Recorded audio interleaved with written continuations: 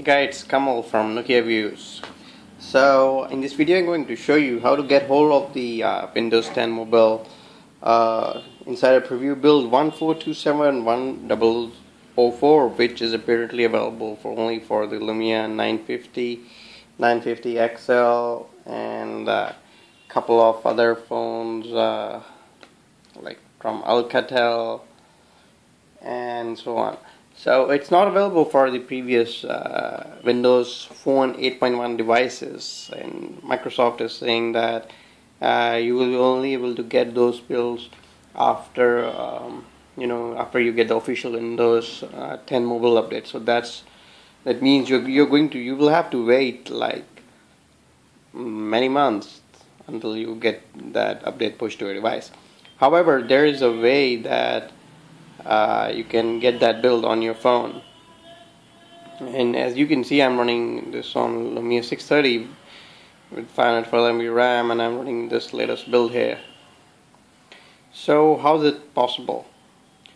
So if you followed my previous video I showed you a way on how to uh, hack your phone and pretend it as uh, Lumia 950 XL there is an easier way to do that I'm going to do that right now in front of you. Open the root tool.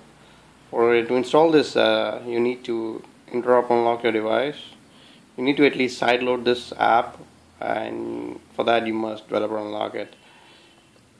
So uh, once you've done that, jailbreak your Lumia. Go to interop unlock only, and after you've done that, go to this first option here. Tap on this and then click on the read button here. There you go you see uh, it's written Microsoft MDG here it was written Nokia earlier. So you change this to Microsoft MDG it's case sensitive so Microsoft is capital followed by MDG which are also capital. After that click on the write button.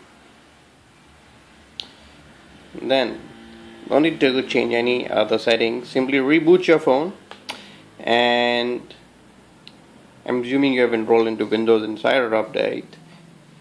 Uh, Windows Insider updates. And then go to settings fire up the update app and click on check for updates. Uh, a generic build uh, meant for the uh, Windows 10 mobile devices which came preloaded with the Windows 10 mobile will be pushed to your device and you will get the latest build uh, without waiting for the official Windows 10 update.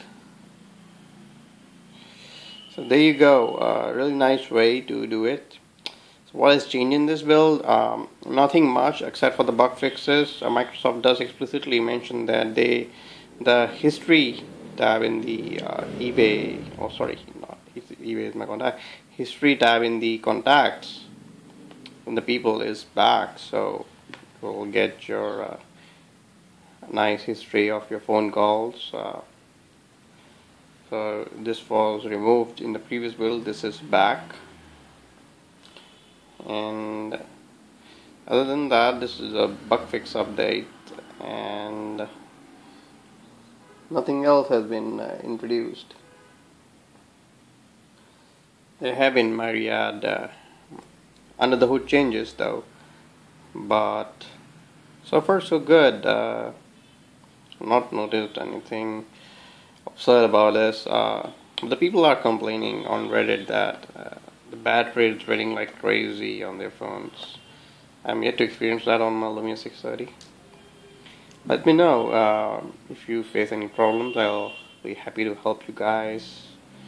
And also if you have upgraded to this build I would love to know if how is it performing for you? Are you noticing anything different or have you noticed a new feature? Let me know in the comments below. Thank you. Bye bye